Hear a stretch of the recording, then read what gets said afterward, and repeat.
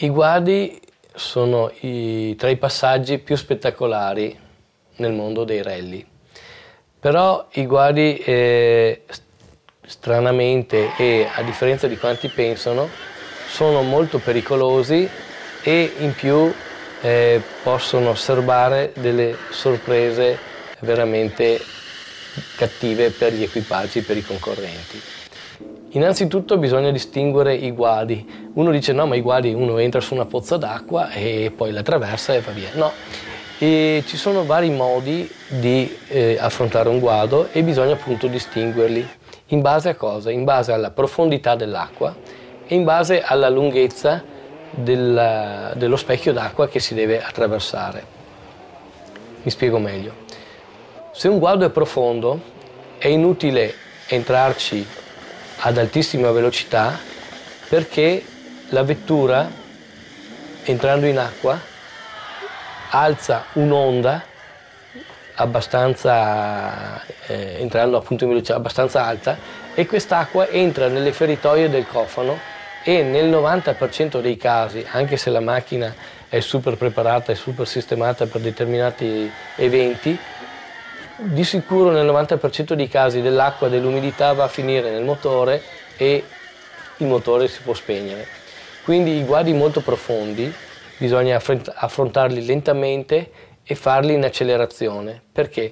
Perché così si tiene un po' alto il muso, la parte anteriore della vettura e l'acqua tende a non entrare, a non superare o a salire sul cofano e quindi bagnare il motore.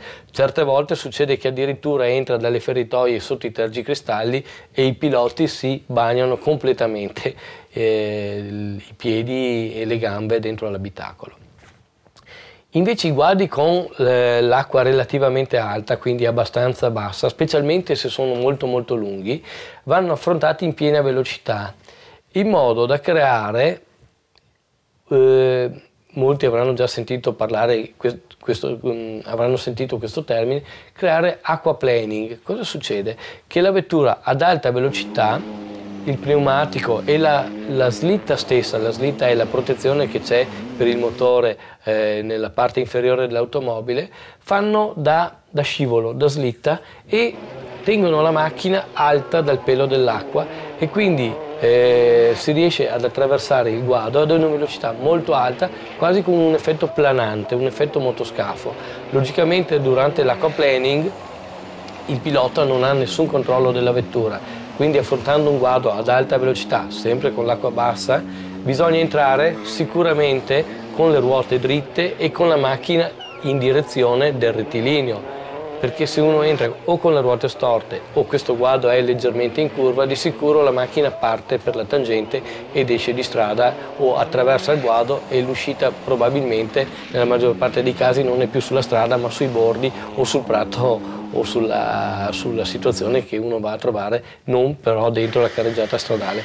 Quindi acqua profonda, rallentare, entrare in acqua lentamente e fare l'uscita del guado in accelerazione acqua bassa e magari con una certa lunghezza di specchio d'acqua, entrare ad alta velocità però già con la macchina in direzione per l'uscita perché durante l'acquaplaning non si riesce a fare nessuna correzione di traiettoria.